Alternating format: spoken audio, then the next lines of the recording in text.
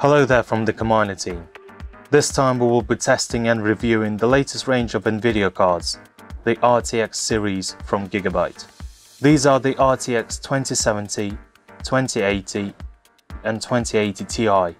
It's worth noting that the gaming range comes overclocked out of the box, but more on that later on. A top tier card from the range, the 2080 Ti from the RTX series will be the focus of this video. Despite that, we will post the results for other cards as well. On the RTX 2080 Ti card, there's several connectivity ports, 3 display ports, 1 HDMI and 1 Type-C. The cooling system consists of 3 coolers, a large ALU radiator with heat pipes. Let's take a closer look at the board without these components attached. Here we have 11 GDDR6 chips that run at a frequency of 1750 MHz, so the overall power output stands at 14 MHz. The adapter makes use of a complicated 16-stage power supply scheme. 13 of those are devoted to the GPU and a further 3 support the memory. The card has 6 copper dissipation tubes dispersed all around the cooling system which suggests high heat dissipation of the new solution by Nvidia. Due to the direct contact between the GPU board and the heat dissipation tubes, the cooling system should in theory perform well. Overall, the whole setup is rather heavy and bulky. For this product, Gigabyte delivers overclocked chips right out of the box at 1650 MHz, which is plus 7% over the standard 1545 MHz. To get an even clearer picture of how the Gigabyte setup operates, we took a thermal snapshot of the card with removed backplate which has been mining Ethereum for 30 minutes. One thing to note is that it varies greatly from Nvidia's reference design. From the screenshot of the thermal imager, we can see that the memory modules reach the temperature of 80 degrees Celsius. The temperature of the memory power supply unit is at 62, and the GPU reaches 58 degrees.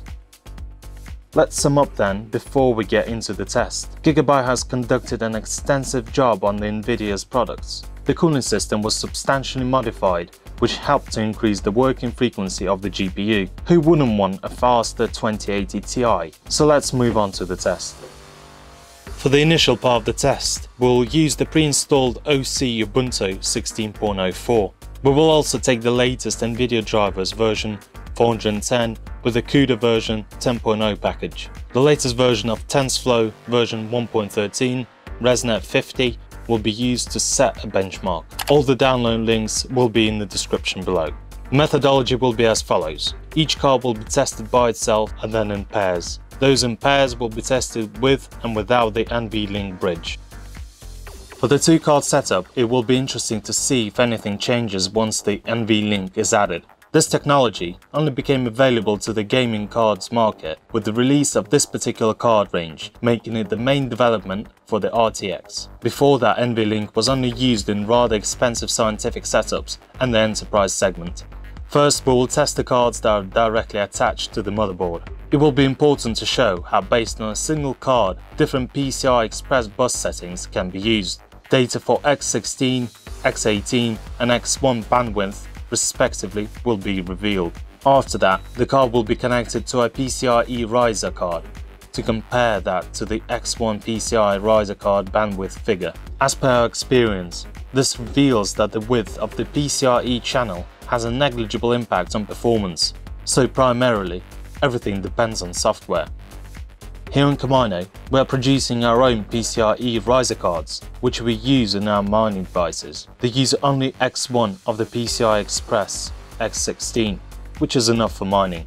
We will not show every single testing screen, as there is simply no need. We will show just one, and then reveal the overall table of results. Now we will launch the TensorFlow on the two cards where the NVLink is installed. To find out if it is enabled, a simple NVIDIA-SMI command can be used. We're launching the NVIDIA-SMI where we can see that NVLink is installed and here we can also take a note of the OS.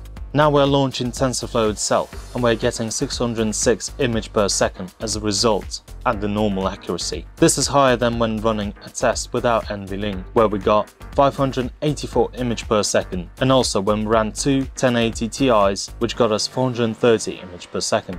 From that, we can deduce that NVLink is not crucial to the result, but there are certain aspects where it's useful. While testing out the full line of cards, we obtained results which can be seen in the table. As we can see, when a single 2080 Ti is directly connected to the motherboard at PCIe X16 bandwidth configuration, the 305 image per second reading is obtained, but through a PCIe riser, we can get 209 it's better than the result from 1080 Ti with 215 and 158 image per second, which is 29.5 and 24.4% lower. But when taking account of the price, which is $699 for 1080 Ti and $1,199 for 2080 Ti, the 1080 Ti is much more efficient given that it's 42% cheaper. Let's now test the video cards while mining without overclocking them. On TensorFlow, the 2080 Ti turned out to be better than the 1080 Ti, but not enough to cover the difference in price. We used Ethereum which is the baseline crypto when it comes to checking the mining potential. As we did before, first we'll test the cards when they're directly connected to the motherboard and then through a PCIe riser. Once again through this, we'll deduce if the speed of the bus impacts mining. We will use the ethminer 0.17.0 Alpha 1 miner. You can check the table for results. 2080 Ti delivers the best results with 50 MHz per second, but the 1080 Ti is not that far behind with 40 MHz per second, a 20% difference. When we are using a PCIe riser, the results remain the same. We also would like to mention 2080 and 2070 video cards, which turned up with rather poor mining specs. On TensorFlow, they deliver similar or lower results to 1080 Ti, and yet they cost more, so they're only good for gaming. Our final test will feature gaming, as we will conduct a benchmark test for avid gamers that prefer to have utmost productivity. We will connect up the two 2080 Ti's with NVLink, which will be supported by an Intel i7 8700K processor and 16 gigs of DDR4 RAM, all installed on an ASUS Apex 10 motherboard. 3D Mark TimeSpy was used to conduct the test, as it has good optimization when it comes to multi-GPU. Also, anyone can carry out the same test at home. According to the result, we can see that two 2080 Ti cards working through the NVLink are faster than 99% of tested configurations that are based on 3D Mark. As of 2070 and 2080 cards, they have shown a similar result to the 1080 Ti. Overall, the cooling system from Gigabyte has performed admirably but it's worth making a note of the high temperatures recorded from the memory chip, which was 80 degrees Celsius while mining. The card turned out to be quiet when under heavy load. Similar cooling is used on all the cards in the range. When talking about 2070 and 2080 cards, they're almost the same as 1070 and 1080, with the addition of a Tensor processing unit and the ray tracing technology. Unfortunately, they're not used for mining as of yet, and it's unknown if they ever will be. Same could be said of the NVLink technology. If you are after uncompromising performance when it comes to TensorFlow, then consider 2080 Ti. But if you're looking to maximize your value for money, then 1080 Ti is your choice. 2070 is more than enough for gaming in 1080p.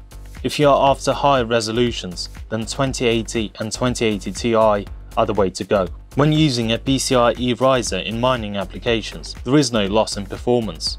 There are some when working with TensorFlow, and we are looking into that issue. Be sure to like the video if you enjoyed it, leave a comment below and subscribe to receive our updates. Until next time.